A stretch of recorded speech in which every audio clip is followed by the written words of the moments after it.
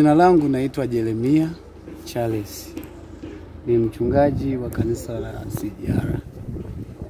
Hebu tuambie ninyi Mimi nilikuwa na maombi ya wiki nzima. Wakati ninaendelea na maombi, Jumapili ilikuwa ni hitimisho ya maombi. Sasa saa kumi na moja nikiwa na watumishi wakanisindikiza kuja nyumbani kujiandaa na ibada. Wakati nimefika hapa kuna mdogo wangu yuko hapa.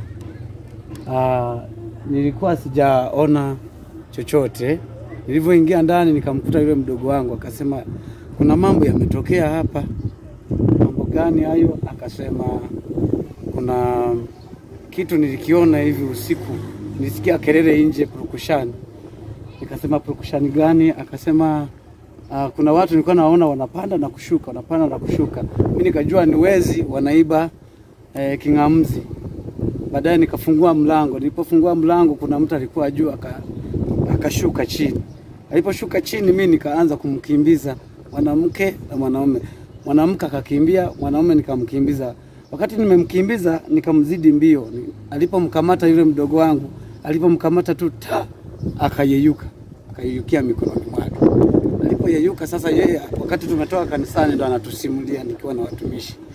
Baadaye ndo tukaanza kufanya maombi, tukafanya maombi maombi maombi, tukasikia kitu huku nje, ndo tukatoka hapa nje. Kukuta hapo hivi hapo. Hapo juu ya canopy hapo. Kuna mtu amelala kama vile maiti, amelala kabisa hivi.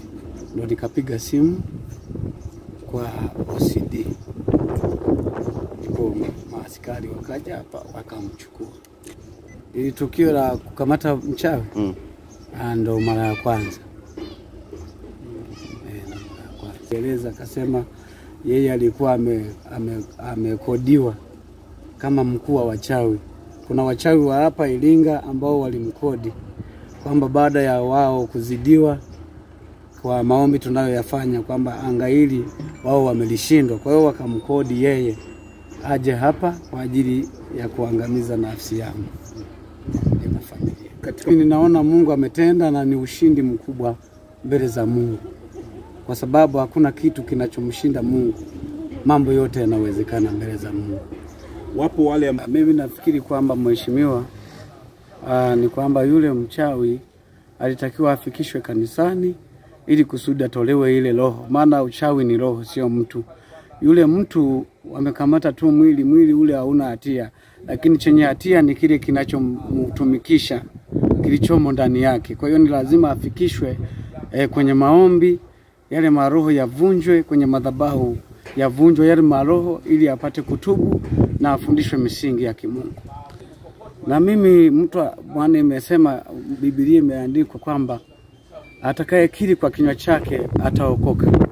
Kwa na mimi siwezi nikakataa kwa mtu ambaye anataka kumrudia Mungu kwenda kumsaidia, maana kazi ya mtumishi ni, ni mbeba ujumbe wa Mungu kwa ajili ya kuwasaidia watu. Naitwa Jacqueline Anton Nyamanda. Jana niliona kwa macho yangu na sijai kuona, yani dunia nzima tokea nimezaliwa mpaka nimefikia umri sijai kuona.